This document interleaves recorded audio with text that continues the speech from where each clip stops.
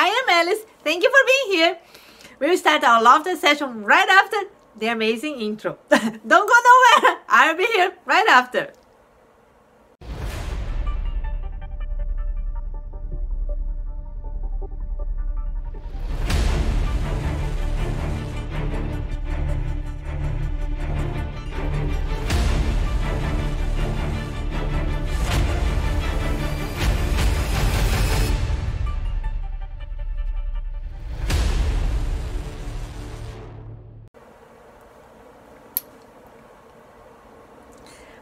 Everyone.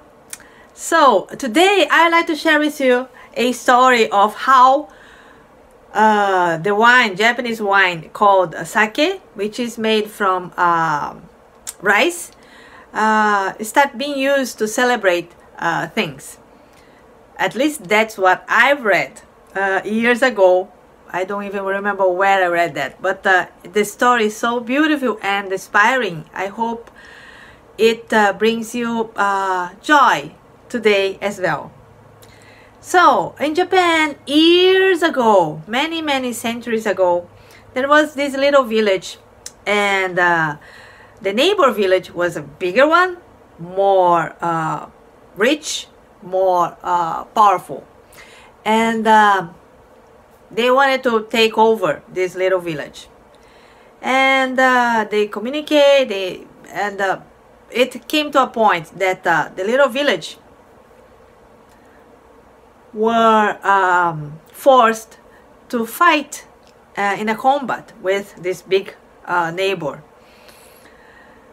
And um, the landlord of this little village knew that uh, they were in um, smaller, in a big dis disadvantage they were uh, less in manpower, they were poorer, but they had something that the big one wanted.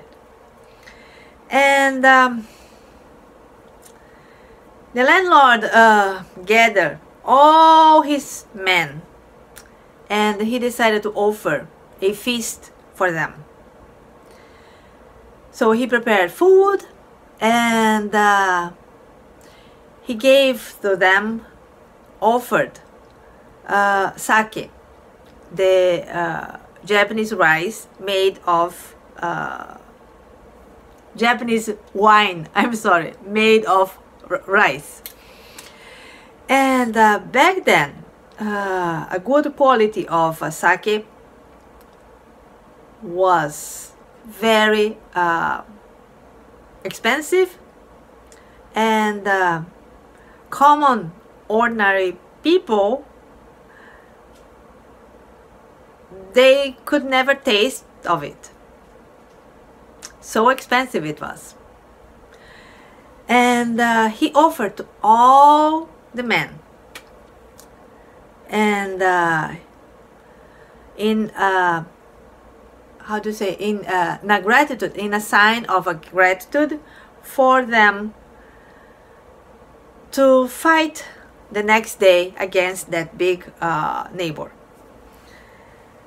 And then all the men, each one of them, they were so honored and so grateful for the landlord who were offering and giving them such a expensive, exquisite uh, feast for them.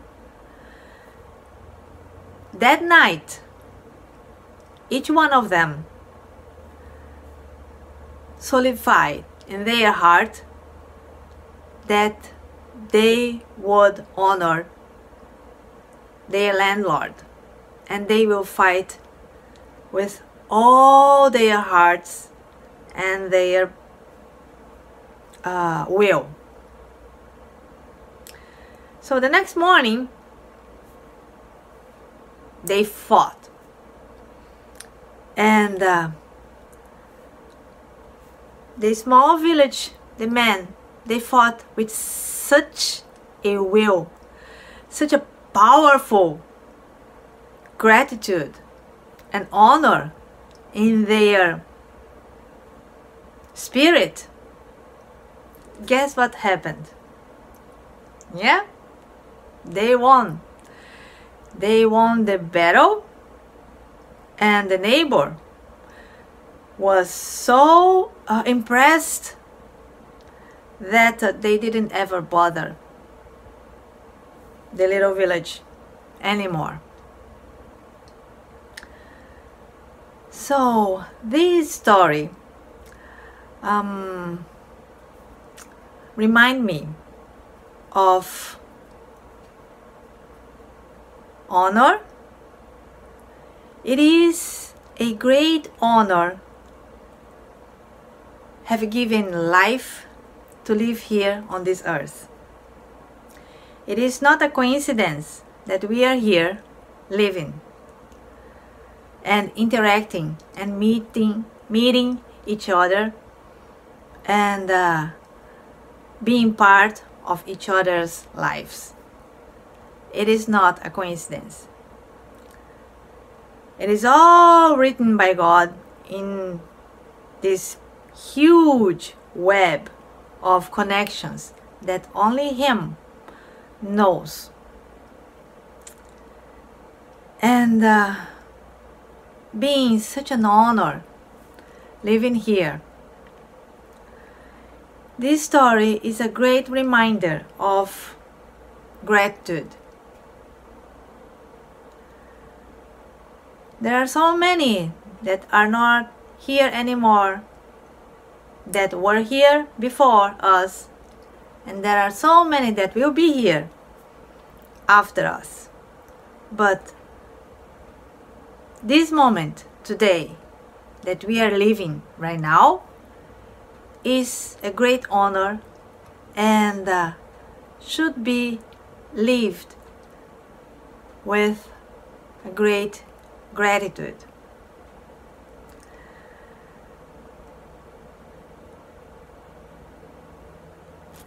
And uh, gratitude is something that uh, um, we feel grat- uh, grateful, uh, but um, sometimes I was just uh, watching a uh, video of that Japanese monk that I start following, and he was saying that nowadays we have so many things available that and we the tendency of us is uh, having them all granted, such as uh, hot water, heater system, AC system,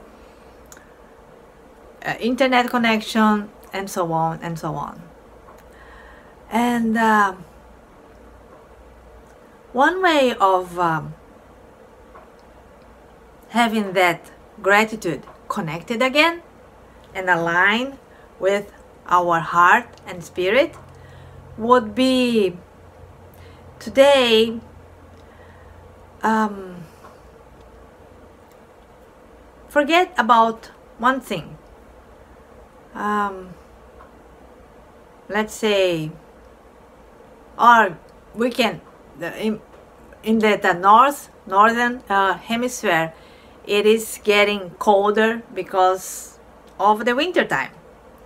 So if that's the case, if, and you live in the cold winter uh, season now, just uh, go outside and uh, wear just one sweatshirt so you won't freeze and uh, stay there and feel the coldness the air the crispy air and uh, feel that you are cold. Stay there for as much as you want and then come back home. I guarantee that you feel so cozy with the warmth of your house. Those are very simple gratitude and uh, that we have granted most of us but uh, the practicing practice of gratitude I do know that uh, many of you already practice gratitude, but it's always good to renew the spirit of gratitude, right?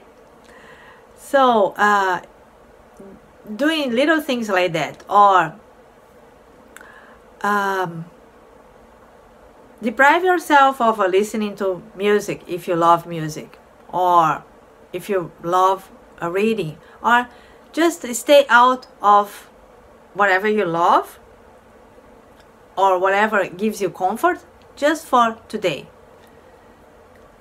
So the next time you do that, whatever it is, you feel so grateful.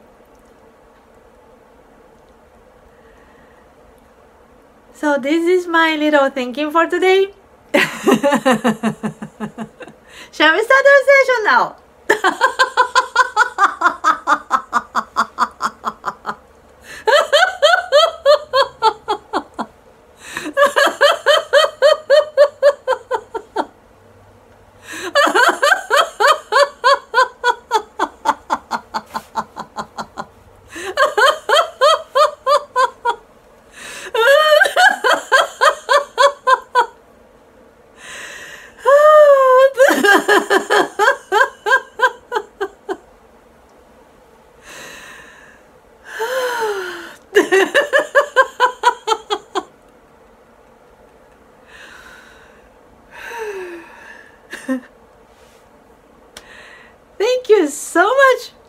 being with me until the end. And I do hope that you all can renew being grateful for being alive and feel the honor of being here right now on this earth. Remember that uh, every single action and thought that you have always go through the ripple effect of this universe. And uh, even if you don't think that it is relevant, it is. Every single thought and every single action. Even a gaze, gazing the horizon during a sunrising or a sunset, or gazing the sky and the formation of the clouds. Even that will interfere with the rest of the beings here in this magnificent magical connection that God put us together.